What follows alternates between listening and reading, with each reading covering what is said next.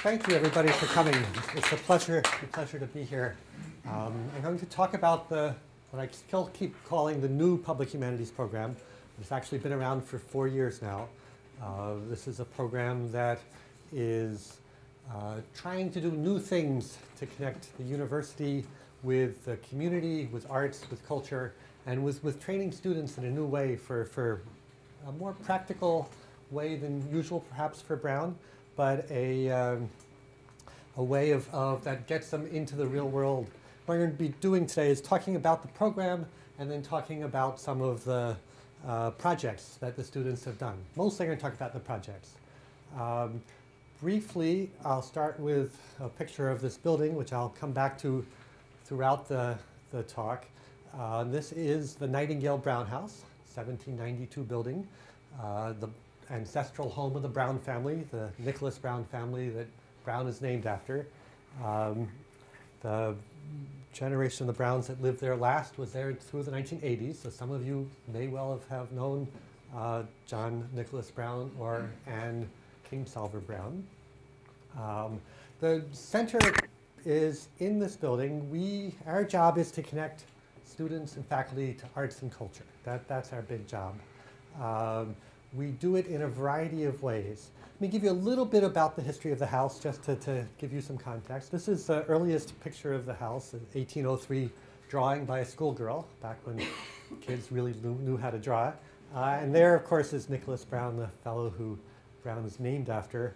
Uh, he gave $5,000 to Brown and they named the school after him, which shows you something about inflation. One of the things we have in, in the archives of the center, uh, the, the Brown family papers, is the receipt, a little lovely little drawing that he got in exchange for, for his gift to Brown. So it's always a nice thing to point out. House changed over time in a variety of ways. These are drawings from the 1860s. A carriage house was added onto the back. Um, this is interior of the building in the 1890s, a very heavy Victorian sort of place. Um, the reason I'm showing you all these pictures is because the building is the center of what we do in many ways. And so knowing about the history and thinking about how it connects with the area around it is something that we think about a lot. John Nicholas Brown, uh, who was on the board of Brown, he was uh, Undersecretary of the Navy, uh, did a lot in World War II, uh, finding art. Uh, fascinating fellow, and in some ways an inspiration to our program. A few more pictures of the Brown family uh, in the house. Couple more pictures. Uh, Anne Brown is the famous Brown for having collected toy soldiers. I'm sure some of you have seen over in the John Hay Library on the third floor her collection of toy soldiers. A spectacular collection of, of toy soldiers and pictures of soldiers, all of which was in the house. Uh, this is the house in the 1980s. Uh, the story that most people know about the house is that it was in pretty rough shape uh, in the 1980s, and it was completely renovated and turned into a building that could be a, a center uh, for, for, for the university. Uh, the story that many of you may have heard is about this desk. This is the famous $12 million desk. Uh, this desk, John, uh, excuse me, Nick Brown sold the desk in, in order to um, to put the money into fixing up the house and then to endow the center. So that's the desk. A copy of it was made. It's sitting in the house now. I introduce all the students to it because they should know about the, the, where, the, where the funding came from. So the house in the, in the early 90s was done over to look as it looked roughly in the 1920s to, to 1950s. Elegant house. It was open for a while, some of you may remember, as a historic house museum. Uh, but in the early 20th, early 21st century, when I got there in 2005, it was sort of not clear what, what, was, what should be done with the house. And that, that's when we invented the Public Humanities Program in order to take this house to good advantage, to take advantage really of the long history of the Brown family. So John Nicholas Brown, in some ways, is in some ways an inspiration for our, for our program. He was trained in museums at Harvard. He was in the famous museum course at Harvard. And uh, he was born in 1900, so in about 1920 or so, he was uh, the famous museums course at Harvard trained just about every art museum director in the country for, for 50 years. Um, very interested in historic preservation. I'll come back to this later. Uh, but much of the Benefit Street that we know today is based on uh, the encouragement that John Nicholas Brown gave, gave to that work. Uh, what we now call community cultural development, uh, keeping the, the community uh, alive through arts and culture, something he did. Uh, he was certainly an entrepreneur. He invented, was one of the founders of the Providence Preservation Society, the uh, Preserve Rhode Island. a lot of these organizations he was involved with and, and the family was involved with. He worked in uh, what we now call arts management. He worked in what we can now call arts in the public sphere. Um, he was on the board of the Smithsonian and the board of the Art Museum at Harvard, uh, at RISD, uh, and he was very interested in archaeology. Um, we do all of those kinds of things. And, whoops, sorry, I went a little bit too fast. Um, well, I will tell you what we do without showing this, because I, I, do it all the time. The, uh, let me just move ahead. So we have a master's degree program in public humanities, the only one in the country, although there are a couple more starting up soon. Yale is about to start a program, so Brown is leading on this two-year program for people who are interested in working in museums, in historic preservation, uh, in arts organizations. Um, we are, we take about 10 students each year. We've been going now for four years. We do a lot of courses. We do seminars, we do conferences, um, both for students at Brown and also for professionals from throughout the area and around the country. We have a lot of organizations that we work with. We work with organizations in town and then we have a variety of internships and fellowships for students to, to work in the around Providence area and again around the country as, as we branch out. Uh, we are interested in students having this combination of practical skills and academic skills. So we want them to be able to think about what it means to work with community. What is community? What is culture? What does it mean to curate a collection? We want them to know about a content. If you're going to be working in an art museum, where many of our students want to end up, you need to know art history. Uh, we want them to know about how people learn outside of school, uh, how people learn in art museums, how people learn and all those, in, what we now call informal education. Story gathering, storytelling, a lot of oral history work, and a lot of what's now called digital storytelling, the, the hot new field of how to tell stories online over the web. Practical management skills, absolutely essential for somebody working in these areas. Cultural policy, cultural heritage policy. We work a lot with the Joukowsky Institute here at Brown, uh, the Archaeology Institute. They're interested in reaching out to, the, to teaching their students about cultural heritage. It's not enough to be a, just know how to do archaeology anymore. You have to know the policy that's around it. Uh, how we do it, focused very heavily on student work. Uh, but working with organizations outside all the time. Uh, we try to teach our students to be collaborative and we try to have real projects that are sustained and ongoing that students have to actually get things done on time. They have to work in groups. Um, one of the challenges that I found coming from the Smithsonian to, to a university, uh, academics work by themselves most of the time. They, deadlines are different, budgets are different. Um, teaching students to work as they're going to have to work in the real world seems like an important thing for us to do. So let me go back to the house. We have this spectacular 18th century house full of wonderful furniture. What can we do with it? Uh, one of the things that we've tried to do is to use the house as a classroom, as an educational tool. So we have this wonderful Newport furniture. We then take it and some of these have these wonderful notes inside of it. We teach students how to look at historic furniture. We teach students how to open things up, uh, to learn the history from the things. The, the wallpaper in the house is this wonderful 1830s wallpaper, although it's really 1980s wallpaper because it was replaced, but it was from the original blocks. So we actually can spend some time looking at the, learning about the history through the artifacts in the house. That's something that we're interested in. We also learn a lot about local history in the house. Um, there's a lot that we'll go into on that. We've trying to teach the students this basic sense of here's the historic stand, here's the, the history, but we're also trying to get them to think about it in new ways. Uh, historic house museums, in some ways, are, are a, a tired institution. They need to be reinvented, and we're working a lot on how to reinvent historic house museums. One of the things that the students did was these site-specific installations. They curated artists to come into the house and to, to do artworks that are inspired by the house. Uh, these are some of the, the projects. Uh, it's complicated to explain in the pictures, but small interventions in the house that make you look more closely at the history. So they're new and old at the same time. I should say this is still on exhibit through the end of October. If you'd like to come by, you'd be welcome to come take a look at it. Uh, it's not enough just to do these art installations. Uh, many of the students are interested in teaching kids about history, about kids about art. And so in some of the students here um, did an entire educational program that brought elementary school kids into the house to, to look at some of these things, to, to understand both the history and the art. Uh, some wonderful projects. Another of the projects in the house, this one's a little bit hard to explain. It's based on the collection of formal portrait draw, uh, photographs of the Brown family that are in the archives of the house. And uh, the artist went back and explored where those all came from and did this, this installation of them.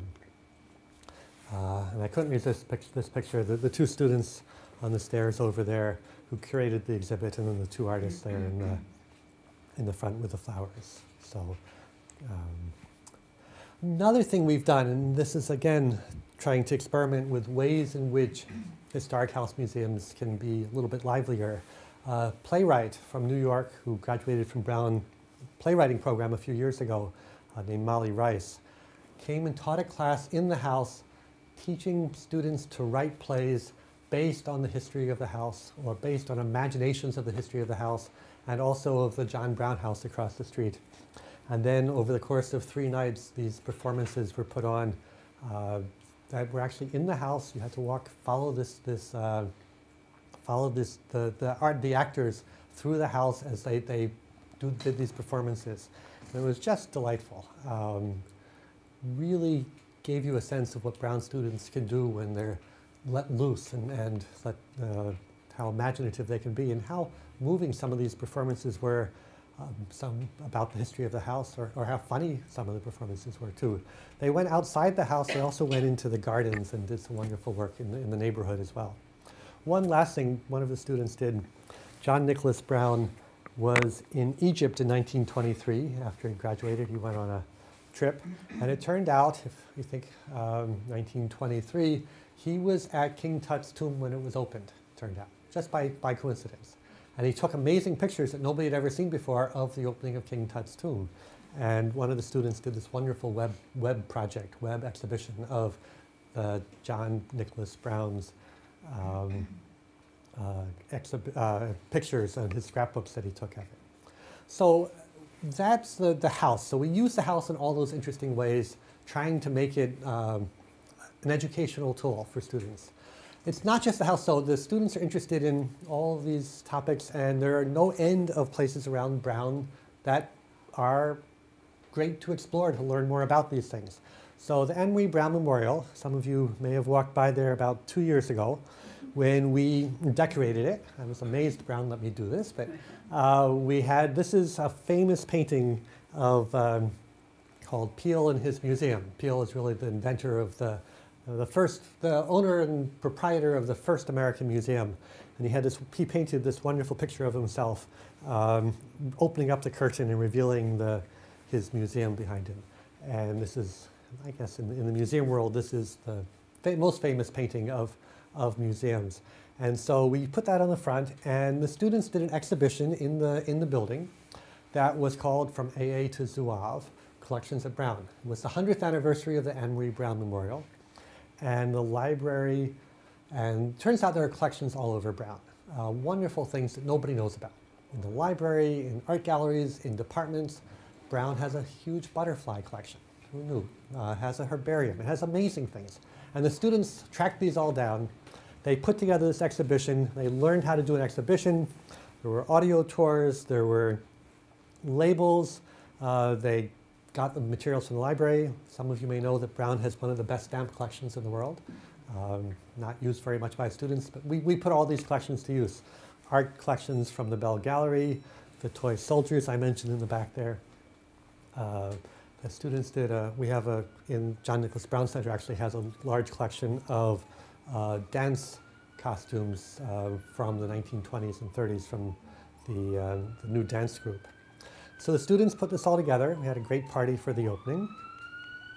Uh, they had to figure out how to organize it. They had to figure out what the best collections were. They were each given a certain space. They had to work with the, uh, with the curators and the librarians to figure out what to display, whether it's swords or the, the dolls. Again, there are amazing things all at Brown. Um, they had to come up with exhibit titles, which was a fascinating, expert, um, fascinating ex exercise. And they did an amazing job.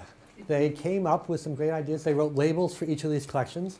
The odd letters across the top um, one of the things curators need to know how to do is how to categorize things. So we had these absolutely impossibly diverse categories, and the, uh, they came up with a group of about 10 different categories. Actually, I'll go back. Um, changing the world, uh, iconic object, um, uh, not sure what the others are anymore, but that kind of thing. They, they came up with these wonderful categories and then assigned each, each uh, collection a couple of these categories. So whether it was the great magic collection or the Alcoholics Anonymous collection, which Brown has, um, amazing stuff. Another student project, uh, the Brown Student Radio was, had I guess it's, must have been its 100th anniversary um, a few years back. And the student did a, collected a lot of material, um, built an exhibition, did a website, the Modernist Journals Project is another ongoing project at Brown uh, about the 1920s and the, the, the, small journals that people published in. Pulp Fiction, um, playing off of the H.P. Lovecraft, Providence connections. Again, just wonderful collections um, based on classes, based on uh, individual faculty or student interests, and what the students do in basically in, in, classes like this is instead of writing a paper individually, they work together to uh, do an exhibition. This exhibit opened last year. Uh, Paul Buhle's class pulled it together. Uh, and it's actually our most successful, and it's been traveling all over the country. It was at the National Yiddish Book Center. It's in Arizona right now. Uh, they did a really good job, and so we've sort of gone into the traveling exhibit business a little bit uh, Day of the Dead altar uh, with community groups in Manning Chapel over here at the part of the Haffenreffer Museum, an exhibit on slave uh, portraits of slaves by an artist in Connecticut. Um, again, lots of student interest. They learn how to do these things and they learn how to work together to make this happen. So, so far I've talked about the house and about Brown the most, the, where we've been putting most of our effort lately is in working with the community around Brown. And this is a interesting challenge for us. Um, it's always scary when you're letting students represent Brown to the, to the, to the community. There's lots of history there, lots that we need to, to, that they need to learn about how to do that. But it's also what's become the most important part of museum work lately is to have the museum work with the community. It's not just the museum curator saying, this is the history, come and look at it. It's building that history, making that history part of a conversation between the, the curator and the community and making it into a, a bigger, more interesting story that way. Getting, getting the, the people that, that are being talked about into the story. So we've done a variety of projects and Providence, of course, with all of its wonderful history, is the perfect place to do this. Um, so right down the street is the Stephen Hopkins House um, that's owned by the Society of Colonial Dames.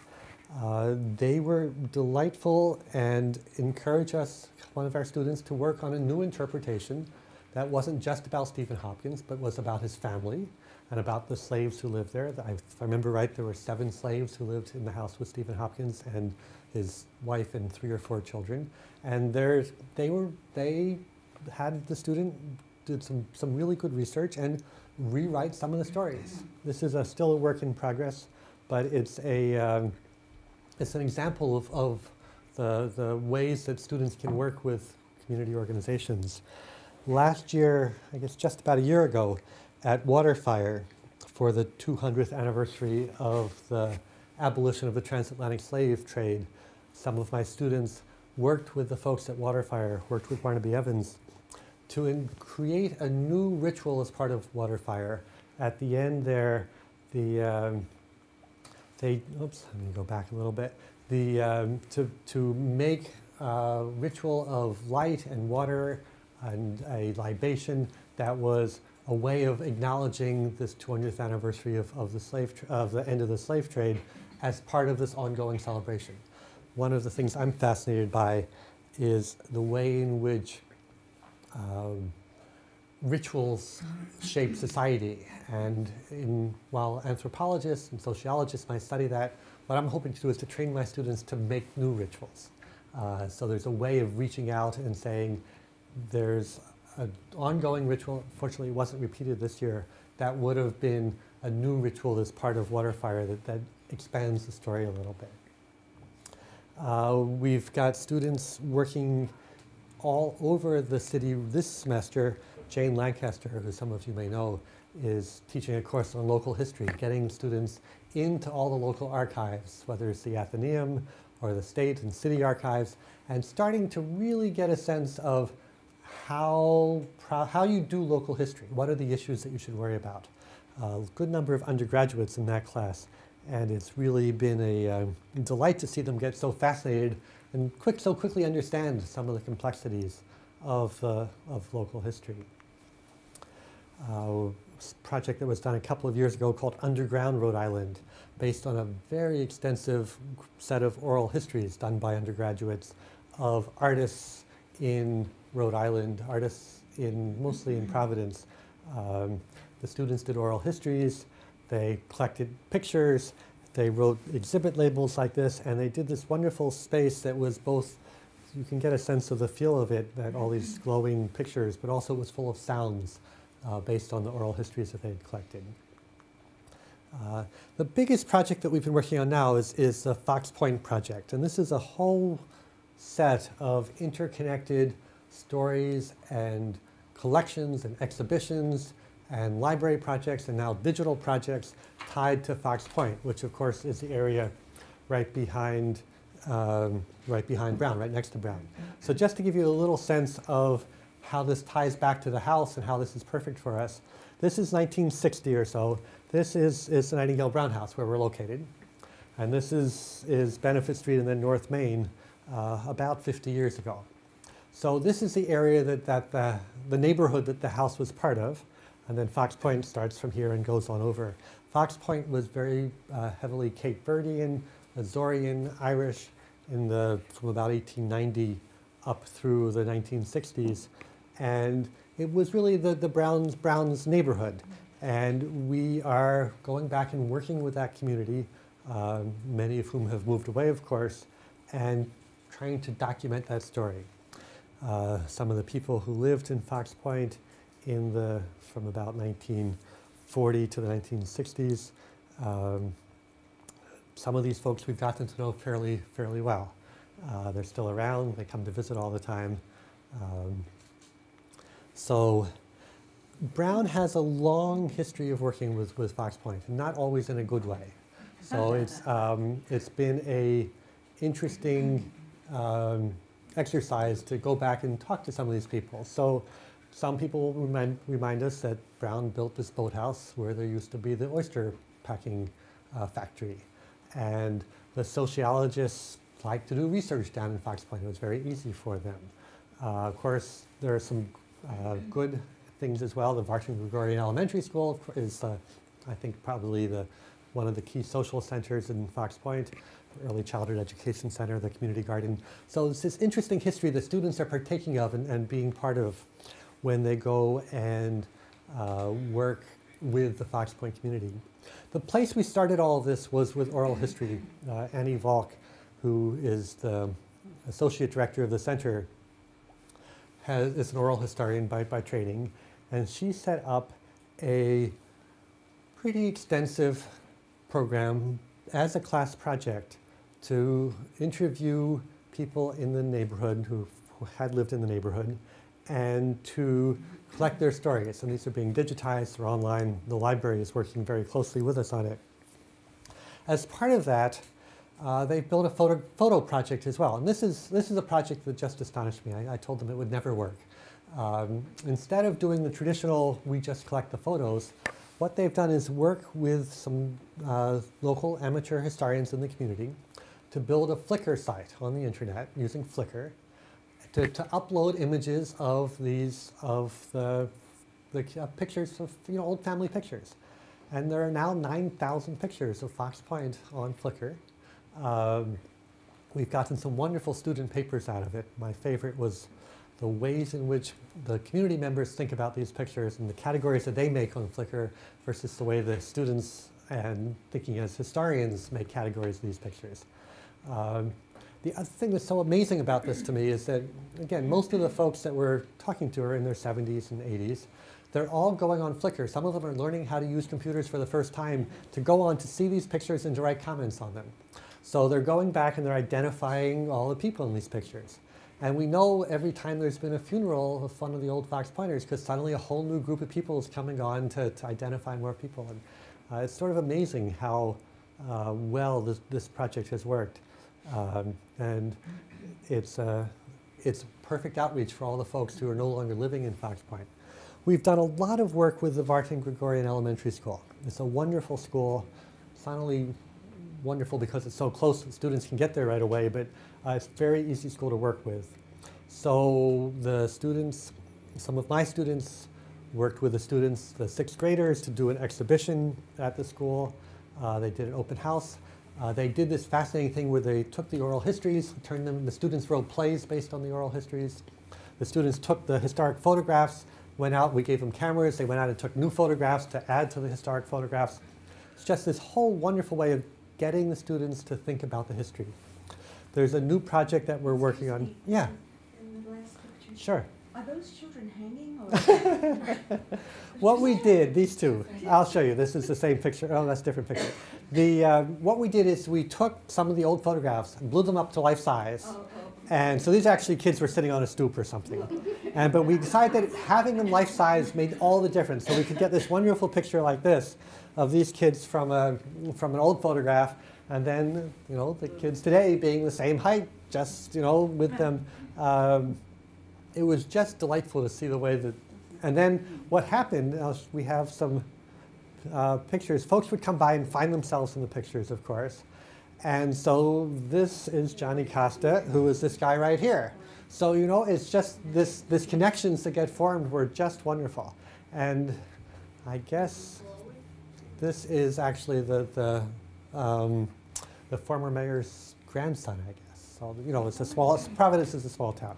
Um, but we got this wonderful, um, we have this wonderful sense of the community sort of being put back together through, through this history, which was something we were just delighted to see. And we got some wonderful coverage in, in, the, uh, in the Providence Journal about, the, about this project. The, uh, another thing we've done, again, I mentioned we were reaching out to, to try to do more and more digital things. Um, starting to build what we call memory maps of using Google and the images that we've collected, starting to put those up online so anybody can add their own stories of the neighborhood. So this, this, some of this is taken from the oral histories, added to maps, and you start to be able to build these online exhibits that you, you could never do any other way. Um, one of the, couple of the students took this and developed something called the Digital History Toolbox, which is an easy way for other organizations, for small historical societies to, do, to use exactly these tools. So we're trying to reach out beyond just the neighborhood, but using the neighborhood. The, the last project I'll talk about, the, the the biggest one is an exhibition that students in my class did last year called Remember the Old Times, Cape Verdean Community in Fox Point. In the house, in our, in our, in the John, in the Nightingale Brown House, there's a carriage house that we've turned into an exhibition space. And you saw some of the spaces earlier. Uh, what this class did was to research the history of the area using the pictures that had been collected on Flickr, using the, what local historians had collected, uh, doing a lot of new interviews with people. Uh, they went out, collected objects, and built an exhibition. I mentioned earlier we'd like students to have real budgets and real deadlines and work with, with, with professionals. We hired a professional designer who told them they had to meet their deadlines, and they did. Um, and we, they worked how to organize the exhibition.